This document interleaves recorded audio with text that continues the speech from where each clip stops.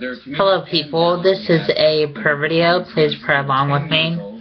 Dear Lord, in the power of your almightiness, please heal my disabilities. I have PDD, autism, Tourette syndrome, and OCD. Amen. Please subscribe people.